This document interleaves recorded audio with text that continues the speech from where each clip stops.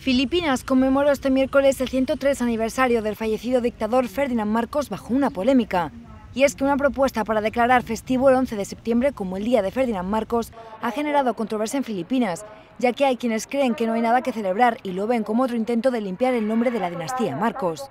Por ello, este viernes unas 200 personas protestaron frente al monumento que honra a los asesinados por la dictadura en Manila, en contra de esta propuesta de ley, ya que la coinciden como una burla a las víctimas.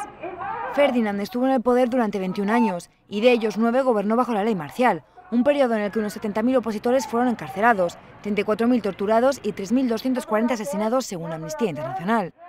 Asimismo, el dictador también expolió unos 10.000 millones de dólares del erario público, lo que le convierte en el segundo líder más corrupto de la historia contemporánea. Mientras, en el cementerio de los héroes de Manila, donde descansan sus restos desde 2016, un grupo de leales a los Marcos asistió, entre fuertes medidas de seguridad, a una misa en su honor, homenaje que su viuda Imelda Marcos y sus hijos siguieron por videoconferencia. A pesar de los abusos y el saqueo de un país sumido a la pobreza, los Marcos todavía cuentan con una amplia legión de fieles que ha apoyado el retorno a la vida política de Imelda y sus hijos, que regresaron a Filipinas en 1991 desde su exilio en Hawái, donde el dictador murió en 1989.